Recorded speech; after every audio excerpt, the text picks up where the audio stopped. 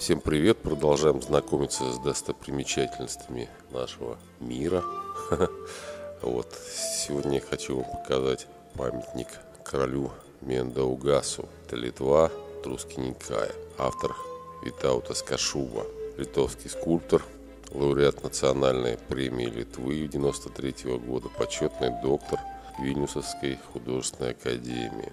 Родился в Минске, где во время Первой мировой войны остались его родители. По возвращении в Литву обосновались в Мариямполе, и прошло, в общем, детство будущего скульптора.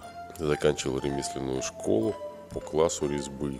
Поступил в Кауновскую художественную школу. С 1937 года участвует в выставках а, участвовал на Всемирной выставке в Париже. В 1937 году был, был награжден золотой и серебряной медалями за деревянной скульптурой. Все работы Кашубы были представлены на Всемирной выставке в Нью-Йорке в 1939 и 1964 годах.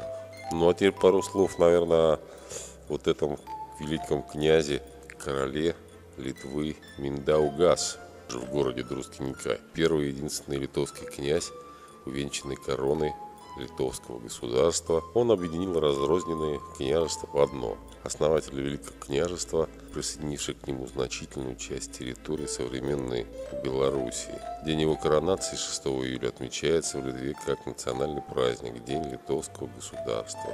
Ну вот, собственно говоря, и все. Вот такой памятник. Находится он в городе Друскиникай, Литва. Памятник скульптора Витаута Сакашубы, король Миндаугас. Может, я неправильно, конечно, ударение ставлю. Вот, ну все, всем пока, всем привет, до свидания, пока-пока.